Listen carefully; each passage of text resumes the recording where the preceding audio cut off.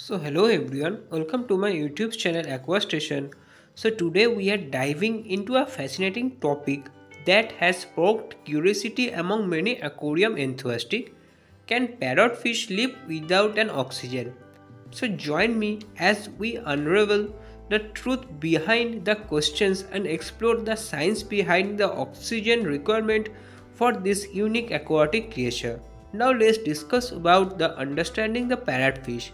So parrotfish known for their vibrant color and distinct beak-like mouth and popular choice for aquarium hobbies. These tropical fish are native to Amazon basin which require specific environmental condition to thrive including the adequate oxygen levels in the water. So oxygen requirement of parrotfish like all fish, parrotfish rely on oxygen dissolved in the water to survive. Without sufficient oxygen, fish can experience stress, suffocation, and even death. So, parrotfish are no exceptions and require a well oxygenated environment to support their respiratory need and overall health. So, can parrotfish live without oxygen? So, the short answer is no. Parrotfish can't live without oxygen. As obligate aerob- aerobics, these fish depend on oxygen for their metabolism, respiration, and energy production. Without access to oxygen rich water, parrotfish would quickly suffocate and perish. So, maintaining the oxygen levels in the aquarium to ensure the well being of your parrotfish. It's crucial to maintain the optimal oxygen levels in the aquarium.